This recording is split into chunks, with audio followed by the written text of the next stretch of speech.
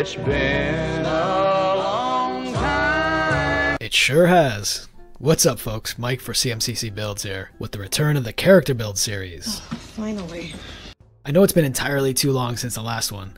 I miss these things. If you enjoy the series and want to see more, it's important you like and subscribe. And if you really like the series, consider joining my Patreon so you can voice your opinion and support the channel. That way I can do more of these.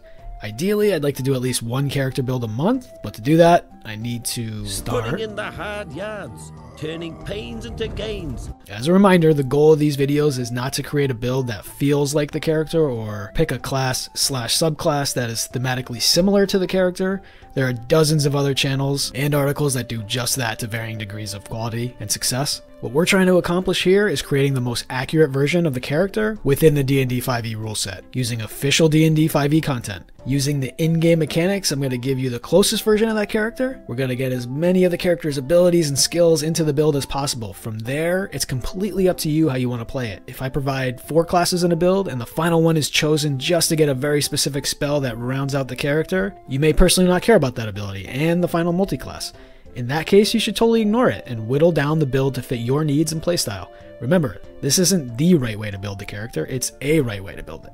Alright, this time around, we're here with a build very near and dear to my heart, a character that heavily influenced my very first 5e build. You saw the thumbnail, you clicked the vid. Space Viking, aka the God of Thunder, aka Thor Odinson. Over the years, there have been many faces of Thor. The one we're going to look at is. Nope, not that one. No, although that could be cool. Haven't seen it. Definitely not that one. Ah, yes, these faces. All of them, well, we'll cover all the important Thor abilities fighting, lightning, hand to hand, Mjolnir, blasting people back. But we're not going to stop there. Nearly every version of a Thor build will start and end with Mjolnir, and that's fine. That's the traditional Thor we all know and love, but a Warhammer in 5e isn't meant to be thrown. That's the purview of the Lighthammer. And wielding a single handed weapon without a shield is often pretty bad in 5e, with some notable exceptions. So, what do we do with Thor? Well, it just so happens that the Thor of the last five years isn't the traditional hammer wielding Thor. Why? Because Hela crushed Mjolnir like an egg, and Thor formed a new relationship with a new weapon that works much better in the 5e context. Stormbreaker. But Mike, doesn't Thor get Mjolnir back and give Stormbreaker to his adoptive daughter at the end of Love and Thunder? Sure, if you want to build the no shield single handed hammer wielding version of Thor, you always have one of those other builds to check out. If you think a champion fighter or storm sorcerer is a good fit for Thor, then there are plenty of those builds out there. But for this one, if you want to build a Thor that can do stuff like this,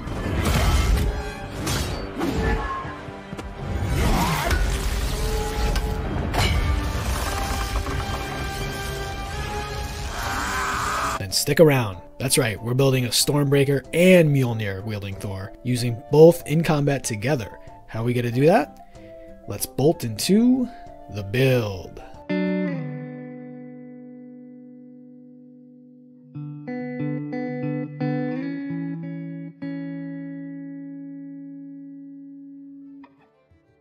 With the racial selection, pretty much everyone picks Aasimar here, and we're going to do the same, but not for the reasons you may suspect. Yes, Aasimar are divine angelic beings, and that flavor is reminiscent of the Norse divinity of traditional Thor, the actual god, but we're building MCU Thor, which is more akin to a superpowered alien than a god. Asgardians, even the names Asgard and Aasimar are similar, live for thousands of years with magical powers, often with misguided superiority complexes. Honestly, in flavor, they remind me more of Tolkien elves than anything else. But again, we're taking the Aasimar because of mechanics. Mechanics trumps flavor. The Aasimar gets celestial resistance, giving them resistance to necrotic and radiant damage. Obviously, lightning and thunder resistance would have been the best, but we'll take any damage resistance on a build like this, because if Thor is anything, it's ultra resilient. Lightning, thunder, and radiant damage are all in the same wheelhouse for me. I know radiant is more like damaging divine light, but it's close enough. And if there's anything close to divine light, it's certainly the energy of a star. And we know Thor is certainly resistant to that.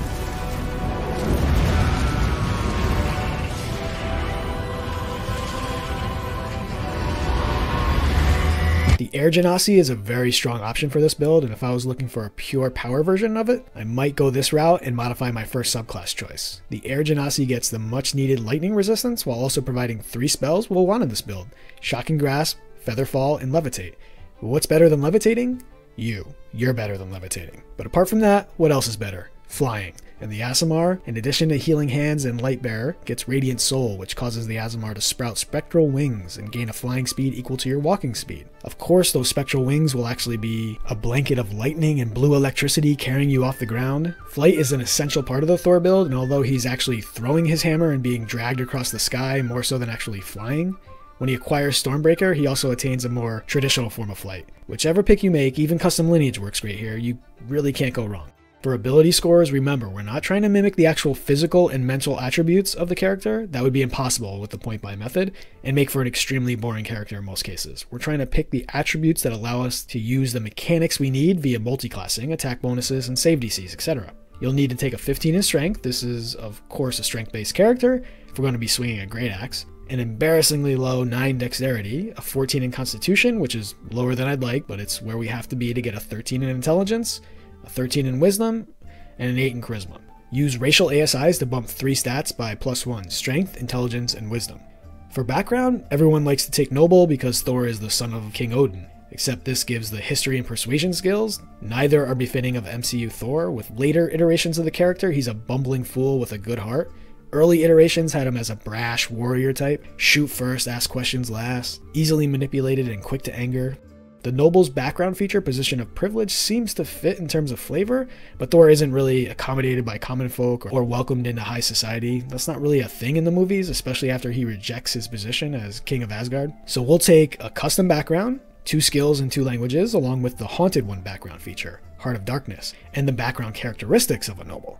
Why Heart of Darkness? Well, the best moments of Thor tend to be those moments of reflection when he considers all that he's lost. And he's lost a lot. Well, he's been dead before. You know, this time I think it really might be true. And you said your your sister and your dad, Both dead. but still got a mom though? Killed by a dark elf. A best friend? Stabbed through the heart. That darkness is the primary character arc for Thor in both Endgame and Love and Thunder as he learns to cope with yet another loss of a loved one. We're going to pick up two important physical skills in a moment, but for now, with the two skills, take Intimidation because he is the god of thunder, am the god of thunder! Wow. I didn't hear any thunder, but out of your fingers, was that like sparkles? sometimes less intimidating than others, and Perception because I don't love any of the other skills and it's the best one in the game. For languages, Dwarvish and Elvish are no brainers. Both races were born from Northern Germanic and Norse mythology, and both elves and dwarves have major connections to mythological Thor and MCU Thor's story. Now, the good stuff starting class. I've seen Paladin, Sorcerer, Hexblade Warlock, but if you're playing Thor, there is only one starting class Fighter. There's another class that you're probably thinking of right now, especially given the religious connections of the mythological Thor, but despite the complementary features that class can provide, it's Fighter that can provide the most mechanical similarities to the Warrior. With the two proficiencies, here we'll take the big physical skills acrobatics and athletics. Our Thor's dex is atrocious, so getting any bump we can from a skill perspective is always welcome, and athletics on this build is a no brainer. The much tougher decision comes when selecting fighting style. There are several good choices, some more powerful than others, and less powerful options filling in gaps in the build. The first obvious choice is defense. All of these MCU superheroes are tough as can be, protected by the almighty plot armor, but we know Thor can take a punch. So a bump to AC fits well. Great Weapon Master isn't a great fighting style, but works well with the great axe he will wield. Thrown weapon fighting, of course, fits perfect for the hammer throwing Thor.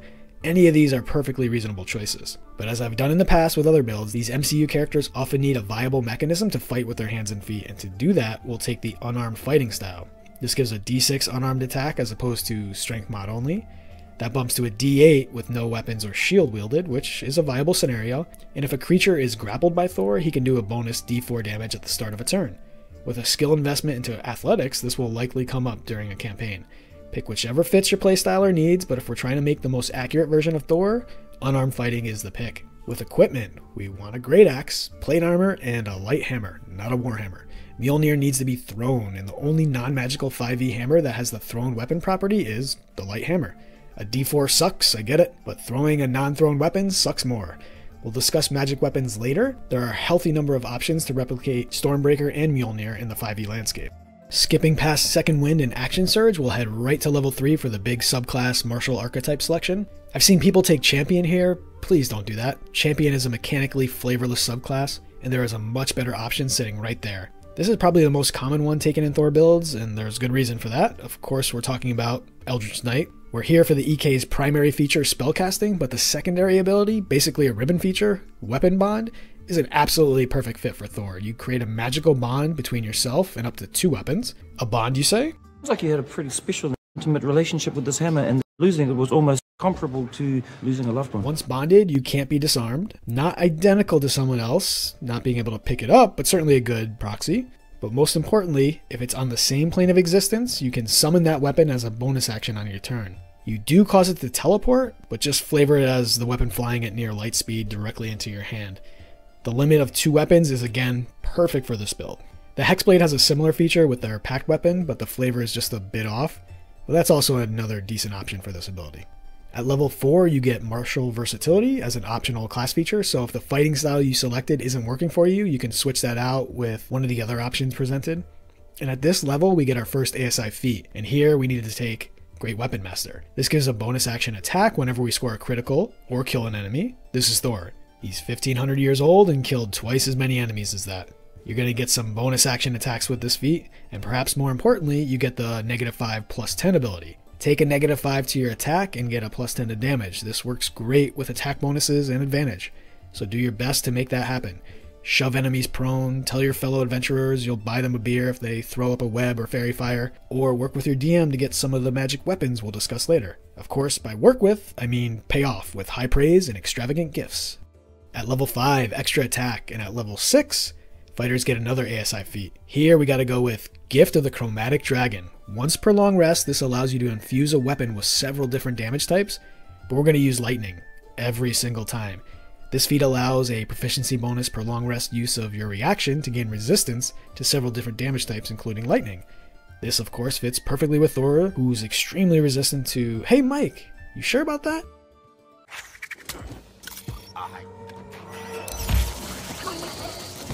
Eh, I don't know what the hell's going on here. He blasts himself with lightning and is functionally immune. We're going to take two more levels in Fighter here to get level 2 spells, and more importantly, for this build, the War Magic feature. When you use your action to cast a cantrip, you can use a bonus action to make a weapon attack.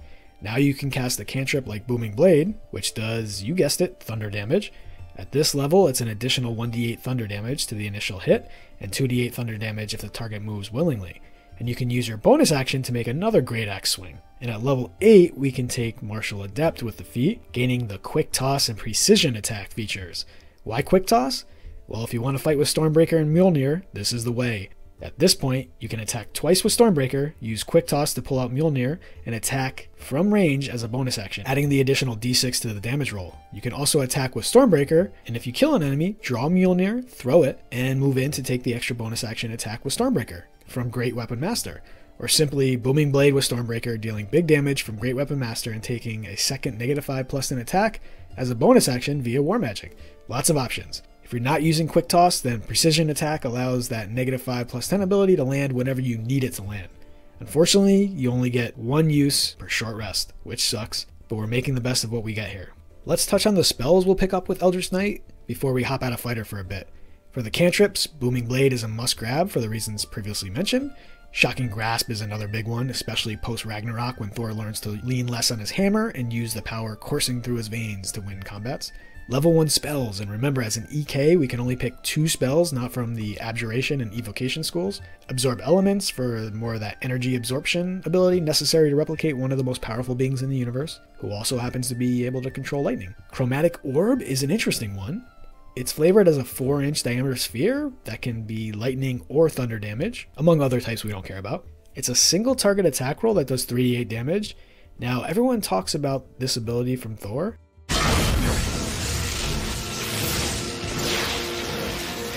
Some of these.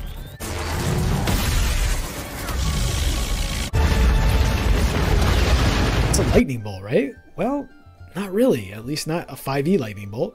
Mike, what are you talking about? That is a lightning. Read the lightning bolt spell. It doesn't hit a target and stop, it travels 100 feet in a line, striking anyone in the path.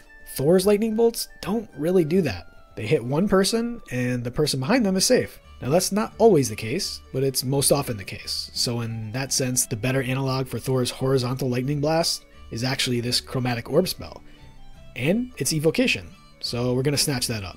We'll take Featherfall with the first of our any school spells. Thor can fall from great heights, sometimes very slowly. He can kind of float with lightning, so Featherfall it is. Yes, I know the Storm Sorcerer lets you float in the air 10 feet when you cast a spell, but this works just fine for our needs. Sorcerer doesn't provide enough to warrant a dip or even a dive into the class. We'll take Shield. Does Thor have any ability like the Shield spell? Have you lost it? We'll take Shield. And finally, Thunderwave. We'll trade this spell out when we come back to Fighter, but for now, blast away. Don't forget you can blast the ground, and Thor does that often, but you can also blast in front of you or behind you. You're on the face of the cube. With the two level 2 spells, Shatter works as a good proxy for a powerful thrown Mjolnir. We'll have some more spell analogs for Mjolnir in a bit, but for now this works well. The spell does thunder damage, so it fits right in line with what Mjolnir can do. Dragon Breath would be fantastic if we could use it to infuse a sentient magic item like Stormbreaker or Mjolnir and have them shoot out cones of lightning as their action, but alas, it's not to be. So instead, pick up Levitate with the second school free spell. Mjolnir makes Thor fly, but his lightning makes him levitate. At this point, we've taken 3 feats, and we haven't bumped strength at all. Why is that? Why are we waiting so long to max strength? First, there's a strong argument to make that taking important feats like Great Weapon Master is more important than an ASI. The math generally bears that out. Second, the longer we push off major investments into strength, and don't kid yourself, an ASI at the cost of a feat is just that. The more time you have to figure out if you can get your hands on an often easily acquired strength boosting magic item like Ogre Gauntlets or Belts of Giant Strength. If you can get those before you spend any ASI on strength, then you can forego ASI to get any number of fantastic feats in its place. If you do the opposite and invest in strength only to come across one of these magic items later in the campaign, well. No way, this is bogus, man.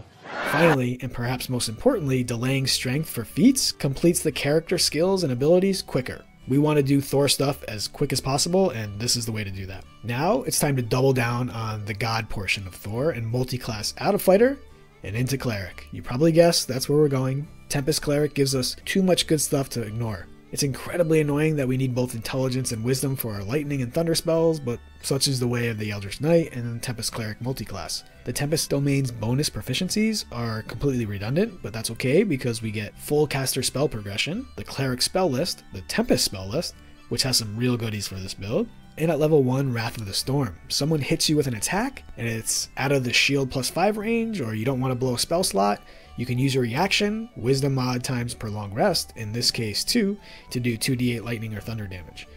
Not much at level 9, but it's something to do with your reaction if you don't have better use for it. And with later Tempest abilities, you can boost that power level to make it a decent effect.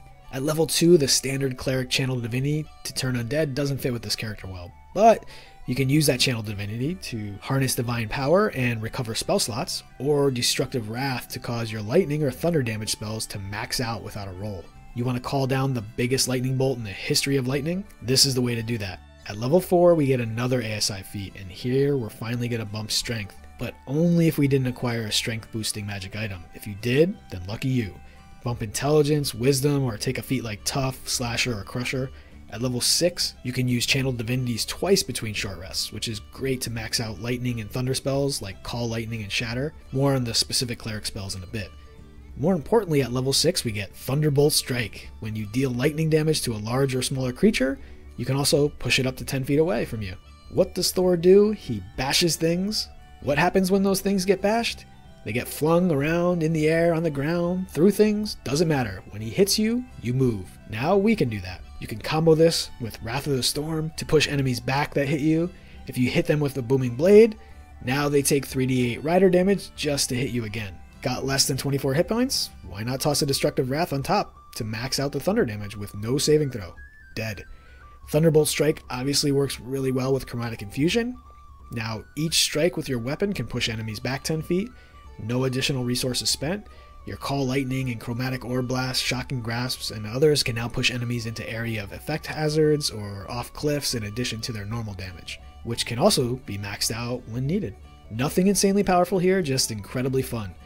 We'll finish off Cleric with a 7th level, bringing us to character level 15. That gives us 4th level spells, So let's go ahead and dive into those cleric spells. For the cantrips, guidance is always a good grab. It's a d4 to someone's ability check, and that includes your own initiative roll. That can help balance out the terrible initiative from the low dexterity score. Resistance, because cleric cantrips are not particularly good, and Thor should have good saving throws whenever possible. He's functionally resistant to everything. Thaumaturgy, because altering the appearance of your eyes, creating a booming voice, and causing flames to flicker is a no brainer. And finally, Word of Radiance. You can play this as either radiant lightning blasting from your body and hitting everyone within 5 feet, or you can flavor this as a quick toss of Mjolnir circling around you and returning to your hand. Sure, the damage from the spell is radiant, but Mjolnir was forged in the heart of a dying star. It's not a stretch to assume its damage is partially radiant. With the first level preparations, I like Cure Wounds, which may sound off, but Stormbreaker very clearly heals Thor when he was dying on the floor of Eitri's forge room at Nidavellir. Fog Cloud is an auto prep Tempest spell, and it's a very strong first level spell. Does it fit Thor? Certainly. He has summoned Cloud cover multiple times during his adventures, including when Odin dies in his final battle with Thanos. Shield of Faith is just a strong defensive option, a plus 2 to AC that can be flavored however you like. He's Thor, his AC should be high. And finally, another auto prep spell from Tempest, Thunderwave. Since we already have the spell with our EK selections, we'll have to unselect it when we take more levels in Fighter.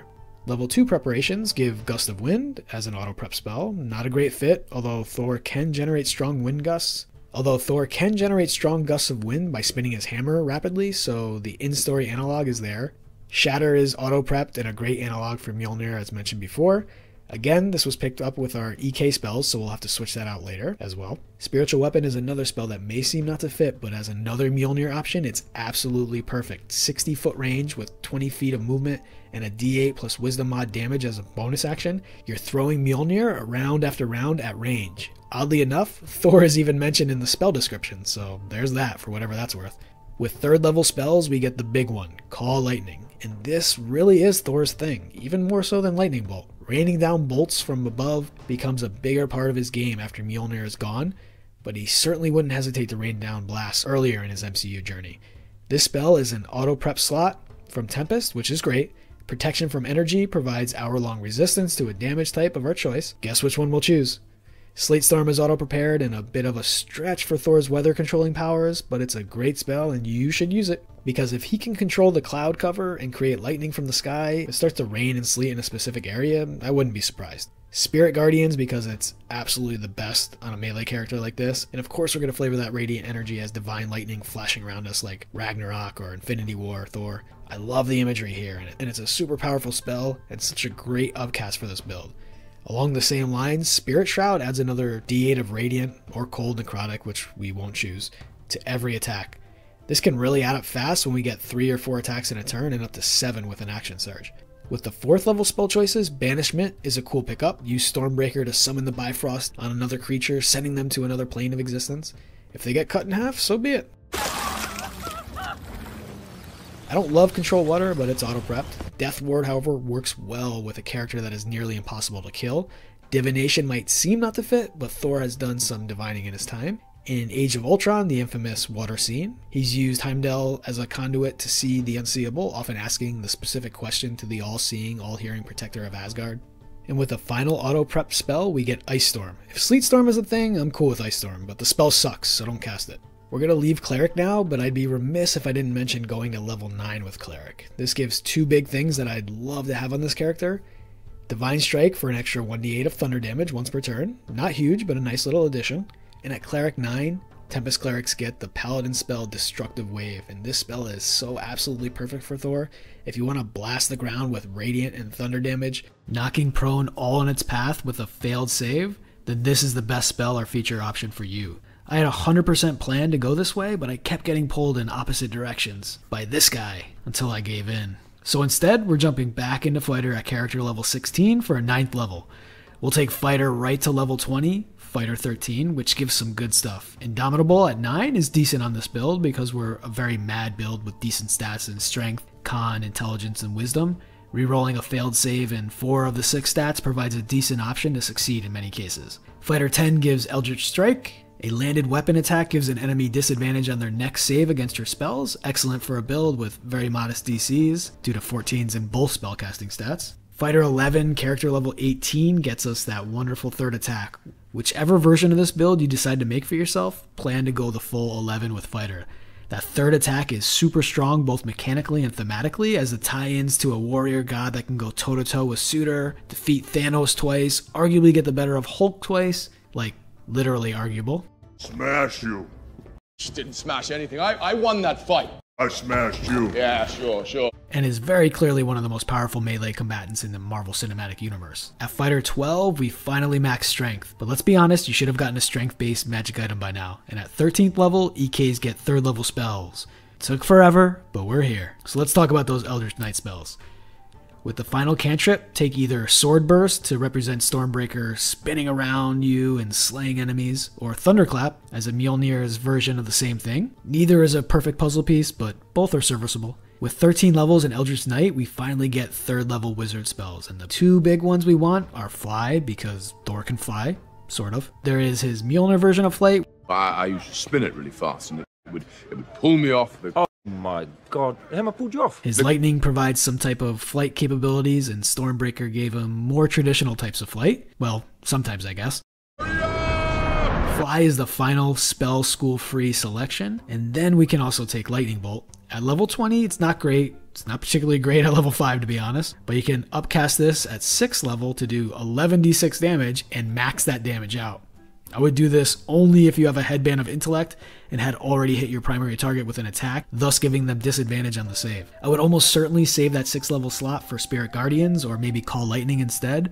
Repeated 60 10 damage in a 9 square area is pretty strong, especially if you can max that once or twice. But either way, if you're building Thor, you probably want a traditional lightning bolt, and this is the way to get it. You have three spell selections remaining, and I would take whatever works for your needs. Continual Flame works as an analog for Asgard's Eternal Flame, Witch Bolt for a d12 damaging lightning spell, Upcast combined with some form of advantage and maxed out with Destructive Wrath can do some serious damage. And if you want to capture Love and Thunder Mjolnir, that can assemble and disassemble at will, propelling itself towards enemies as auto hit force damaging pellets, the Magic Missile spell isn't a bad analog at all. Okay, now let's discuss some of the magic items that can really pull this build together, starting with the attribute boosting items. If you can get your hands on a headband of intellect to boost intelligence, that allows you to dump intelligence and invest more heavily into wisdom as a stat. Remember, you need wisdom to multi-class into cleric, but you don't need intelligence to be an Eldritch Knight. Only do this if you've worked out with your DM how and roughly when you'll be able to get the headband. Going 10 levels into fighter only to find that you're not getting the headband until fighter 11 is gonna be a rough ride. Gauntlets of Ogre Power let you bump your strength up to 19 for a plus 4 modifier. You kind of get stuck there with this magic item, as ASI will have no effect until you hit 20, at which point the magic item is useless. Your other option is to instead switch to a belt of giant strength, which will bump your strength from a 21 to a 29 depending on the type of giant belt you have. It's gotta be the Storm Giant, I mean, come on, it's Thor. Now for the weapons. There is the Dwarven Thrower. It does require attunement by a dwarf, but for this build, the DM has to cut you some slack. Especially since Mjolnir and Stormbreaker were forged by the King of Dwarves. It's a Warhammer, so much closer to Mjolnir than the Light Hammer. You get a plus 3 to attack and damage rolls, and even better, it has the thrown property with a range of 20 and 60 feet. It deals an extra 1d8 on a hit, 2d8 if you're a giant, Asgardians hate the giants, just like the dwarves. And best of all, the weapon immediately flies back to your hand after the attack. This is Mjolnir in 5e. Then for Stormbreaker, this is the Axe of Dwarvish Lords. It's a battle axe, which is not ideal, but it takes on the properties of the aforementioned Dwarven Thrower, a belt of Dwarvenkind, and a sword of sharpness, so you can lop off limbs along with doing additional damage on crits. The axe has other abilities like teleportation, very similar to Stormbreaker's ability to summon the Bifrost. It comes with other abilities like summoning an earth elemental and a curse to make the wielder look dwarvish, but whatever, the other stuff is cool. Then there is Whelm, a sentient warhammer with the thrown weapon property and a penchant for killing goblins and giants. It's a plus 3 weapon that sends out a shockwave in a 60 foot radius to stun enemies. And finally, I should mention the Hammer of Thunderbolts, a plus 1 maul, so not exactly a great start. It requires both gauntlets of ogre power and a belt of giant strength. Why both, since the gauntlets do nothing? I don't know. But the weapon gives a plus 4 to strength, and with the cost of a charge, can be thrown with a range of 20 and 60 feet. If it hits, creatures within 30 feet that fail their saving throw will be stunned. Again, not bad, but probably the worst of the four options as an analog to Mjolnir or Stormbreaker. Work with your DM to figure out which of these weapons they'll let you get your hands on. You can borrow the plot from Thor 1 and have your backstory involve losing said weapon because you're no longer worthy, and spend your adventuring career trying to regain your lost honor while trying to find the weapon's location and prove your worth so the sentient tool will accept you again. So that's the build, that's everything. Tell me what you would have done differently in the comments below. If you liked the video, please like the video and share and subscribe. All the YouTube things. Thanks, folks. See you here next time.